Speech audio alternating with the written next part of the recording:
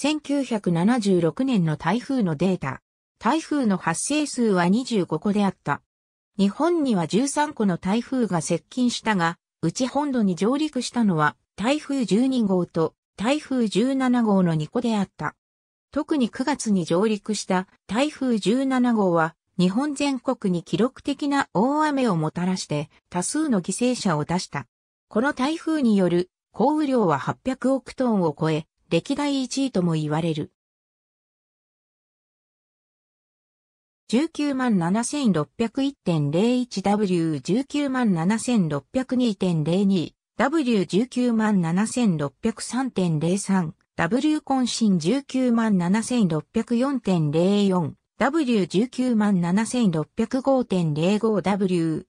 離断19万 7606.06W19 万7607.07、W 不安人197,608.08 W 遺産197,609.09 W 197,610.10ワット、ルーシン197,611.11 W 197,612.12、W マリン19万7613.13、W2 単台風による被害19万7614.14、W19 万7615.15、WO3 19万7616.16、W パリン19万7617.17、W レミン19万7618.18、W19 万7619.19、W19 万7620.20ワット、